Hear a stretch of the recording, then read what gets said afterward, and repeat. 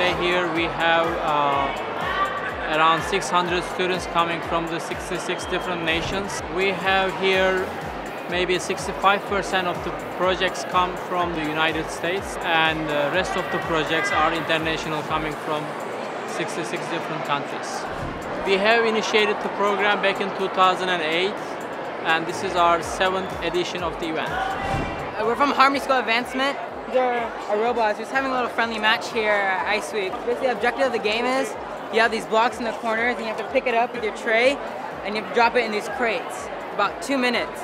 In the last 30 seconds, you either raise the flag to get about 30 points or you can uh, lift yourself, your own robot up on that beam. Hello, my name is Meryem. This is my friend Mubina. We are from Bosnia and Herzegovina and our project is about biofuel production from the plant miscanthus. We made our own fuel cells which convert chemical energy of fuel into electrical energy. We have calculations. We put uh, this fuel cell in the car, you can see in this picture. Uh, so here is calculation, it is uh, 0.80 uh, liters per hour without cell, fuel cell production of uh, energy.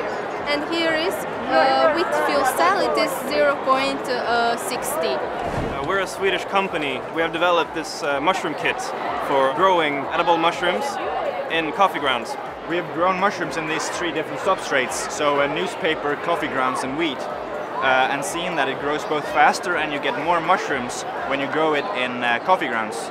Plus you save a lot of energy because the coffee grounds don't have to be pasteurized because when you brew coffee on them uh, you kill all these microorganisms already. You know, the ICF is like a youth platform for STEM-minded students. We are bringing top high school researchers every year here.